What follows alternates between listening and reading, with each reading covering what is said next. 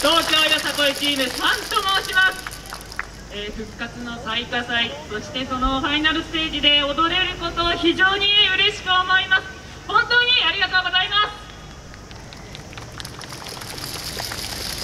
えー、私どもよさこいチーム3活動10周年を迎えることができました。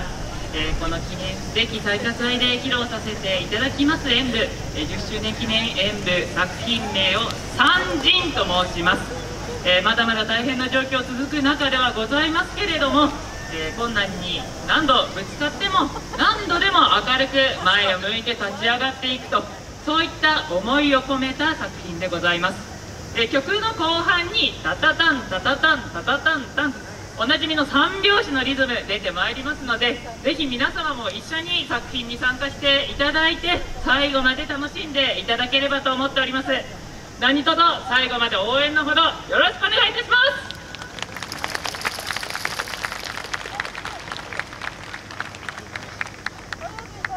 それでは参ります。火を灯せ。三鎮